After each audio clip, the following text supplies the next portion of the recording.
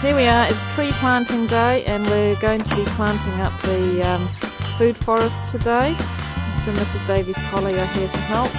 So we've got heaps of fruit trees. It's a cold, frosty morning, the coldest morning of the year.